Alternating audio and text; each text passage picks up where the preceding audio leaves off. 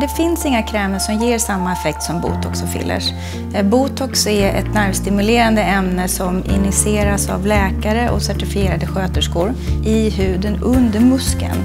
Och eh, krämerna kan inte penetrera lika djupt. Men det är perfekt att kombinera eh, fillers, botox med, med hudvård. Hudvården gör ju att man jobbar med de kollagena elastina fibrerna, du får en finare, mjukare yta att jobba med.